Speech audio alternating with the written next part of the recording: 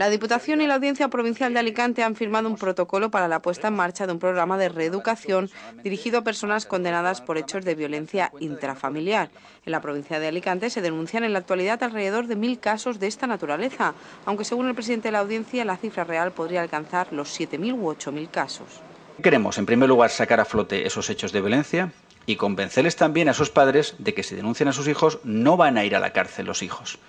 ni los hijos que denuncien a sus ascendientes van a ir a la cárcel.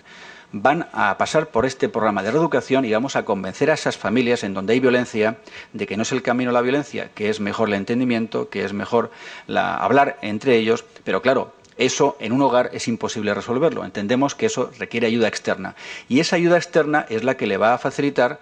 la Diputación Provincial y la Audiencia Provincial de Alicante con un grupo de expertos el objetivo es apostar por la reeducación cuando se producen casos de violencia entre padres e hijos, hermanos o cualquiera de los familiares que conviven, siempre que los hechos no revistan de la gravedad especial que requeriría su ingreso en prisión. Un nuevo protocolo que tiene mucho que ver, eh, como pasaba con los anteriores, eh, lo que hicimos de maltratadores y el que hicimos también de seguridad vial, con las circunstancias reales de nuestra sociedad. Incluso se eh,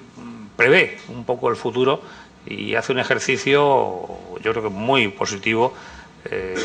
desde un punto de vista de preparar a la justicia y, ¿por qué no también preparar a la sociedad? Porque cuando se hacen estos protocolos tiene una implicación social eh, para problemas que eh, no es que vengan en el futuro, sino que ya están aquí y que hay que tratarlos. ¿no? Gracias al protocolo suscrito por ambas instituciones, los jueces y los servicios sociales penitenciarios podrán, cuando adopten medidas de suspensión de la ejecución de la pena en los casos de condena por un hecho de violencia intrafamiliar, incluir en el auto dictado la remisión del penado a un programa de reeducación, que deberá seguir bajo la condición de que, en caso de no llevarlo a cabo, se revocaría la medida de suspensión y se ejecutaría la pena.